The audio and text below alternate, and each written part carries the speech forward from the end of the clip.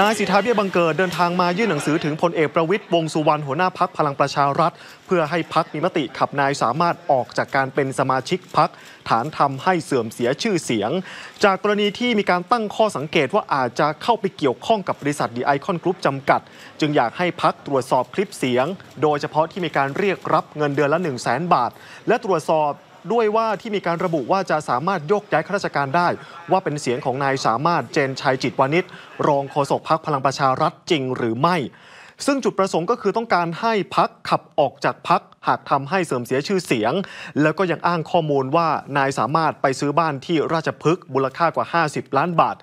โดยนายสิทธาย้ำว่าการตรวจสอบไม่น่าจะใช้เวลานาน และอยากให้ผู้ใหญ่ในพักตั้งคณะกรรมการขึ้นมาตรวจสอบไม่เกินหนึ่งเดือน เพราะว่าหากยืดเยื้อออกไป ไม่มีบทลงโทษออกมา ก็จะทำให้สังคมเนี่ยเกิดคำถาม และหมดความน่าเชื่อถือได้ครับ